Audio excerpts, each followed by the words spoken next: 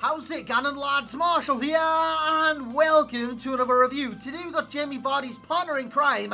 It is Leicester City winger, Riyad Mahrez. Now guys, if you do want any cheap MSP, PSN even game codes, head on over to g2a.com, use that code M89. Every single link that you'll need is right there in the description below. And what I love about this card, what you guys are going to love about this card as well, is that it's a loan card. Try before you buy and in my experience with the card, I'll be definitely purchasing him once his loan does run out. Of course, he's a new 5-star skill of 5-star skills, 4-star weak for medium to medium work rates. He scored 7 in 7.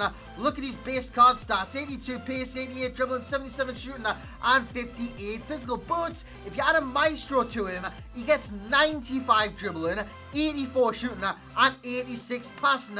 Bloody brilliant in-game stats, 86 acceleration, 92 agility, couple that with ball control of 88 and dribbling of 89 and the 5-star skills. You've got one of the best dribblers on the game in my opinion. He's got good acceleration so that instant burst of pace is very good and what you would have noticed in the first slide as well, the brand new starting ultimate team, Composure. I'm not too sure what this does yet. I'm still experienced what it does do in game I reckon it uh, it increases your chances of scoring in these kind of situations. The chances where you do get the kind of you've got to use the composure in order to score. You don't blast it, you don't hammer it, you place it. That's what I think composure does. And like I said, if you're gonna review five star skiller, you've got to add some five star skills in there, lads. You seen that in the first clip. This one, what a finesse. If you don't like skills, just take the strike. Riyad Mahrez has got a long shot taker traits and he is very accurate from range. So what you want to do with the card,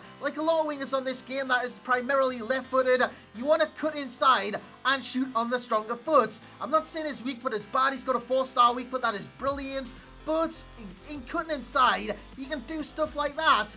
Why not do things like that? And when you do cut inside, he causes havoc. But when he's out on the wing, he does get in position every now and then because his positioning is good, but his movement is shocking due to his work rates, medium to medium. He can score goals like you've just seen there in the background, a nice little scissor kick into the back of the net. So looking through his pros, we have the five-star skills. What do you want from players on this game? You want them to be able to do anything on the game. Riyad Mahrez can do that because he's got the 5-star skills. He can utilize all those 5-star skills, yes, on this game. Skills, they aren't as good as the win. 16, 15, 14, but they are quite slow in coming out of him. So if you're doing a skill, it's quite slow in order to execute that skill. It's still effective though. It's still effective. If you do them at the right times, they are still quite effective. Acceleration, that instant burst of pace with Riyad Mahrez, because he's not the fastest in the world, is brilliant. Honestly, it gives him that edge over right backs, centre backs, midfielders once he cuts inside. That little bit of acceleration takes him away from his markers. His dribbling, my good god, so damn good. His dribbling stat was good. His ball control utter, utter class. And his long shots, you've already seen, he's got a long shot take a trade. If he does cut inside, you can bang them like the best of them on the game. Honestly, he's got a cracking strike, a pure strike, and cutting in is what you want to do. But if you don't like doing that kind of thing, his wing play in general is very good. His crossing is good, getting up and down the line. He's very good at doing that. All in all, one of a cracking, one of a cracking. Wow, that isn't even a phrase one of the better wingers I've used on this game so far, but there is so much more to come from Riyad Mahrez on FIFA 17. So all in all, lads, you will get a rating of an 8.7